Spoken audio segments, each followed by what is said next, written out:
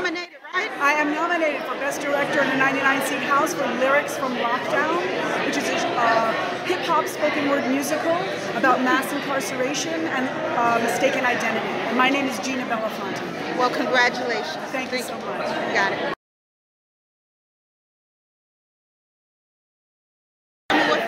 Best lead actress in 99 Wow, I heard about that. Anything challenging about the role? Anything challenging about the role? Yeah. Um, I was playing a woman who was paralyzed, so I was in a bed for a lot of it, and I was only able to move when we were in her mental state. So really studying what that's like, um, the feelings of anxiety of being trapped in your own body, that was a real challenge because I really wanted to do it justice. Well, you did it justice because you've been nominated. Thank you. Thank Congratulations. You. Thanks. Okay. Uh, are you nominated? Okay, what brings you here today?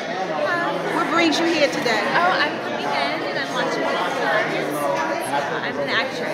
You're an actress?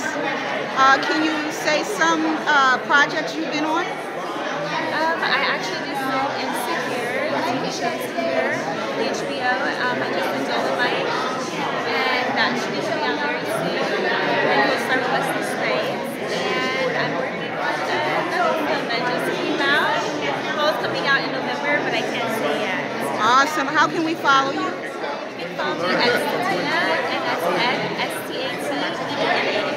Awesome. Thank you so much. without uh, you know bringing some specificity into the dance is how do I incorporate you know dances from Guinea and Mali and and Senegal and all those other places that I've studied dance you know into the choreography so it looks like it's something fresh and something new that this village know would be doing so that was a challenge but also you know we had a cast of about I'll say about 20 actors, and so it was like putting movement on all those actors. So it was a challenge, but I just enjoyed, you know, working on this piece so much because, you know, we got a chance to do a work by Lorraine Hansberry that this was the first time it was done, you know, on the West Coast in a full production.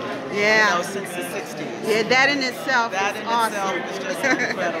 Thank you so much.